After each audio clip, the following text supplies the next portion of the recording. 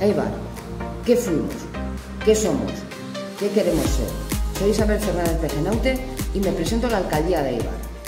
En estos últimos cuatro años como concejala en la oposición he puesto todo mi esfuerzo en aportar y ayudar a solucionar los grandes problemas que nuestra ciudad arrastra desde hace años.